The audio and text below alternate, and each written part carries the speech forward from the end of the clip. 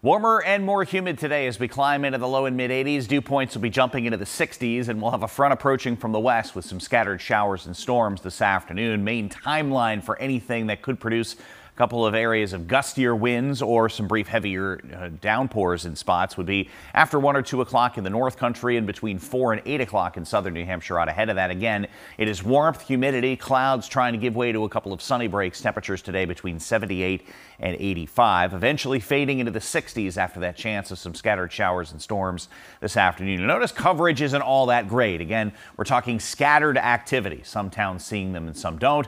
The window really ends after 7 or 8 o'clock this evening with cooler, drier air starting to filter in overnight.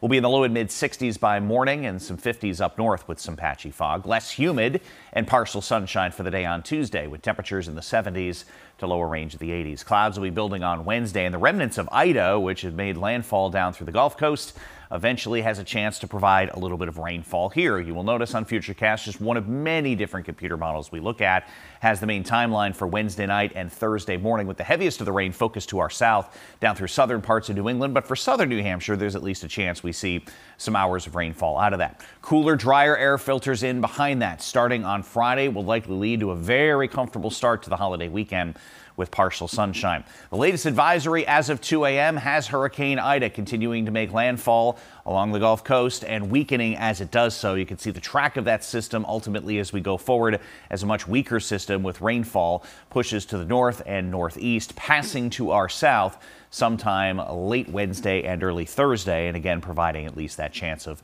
a round of rainfall for us. Again, we'll keep an eye out for a couple of stronger storms this afternoon with a separate cold front.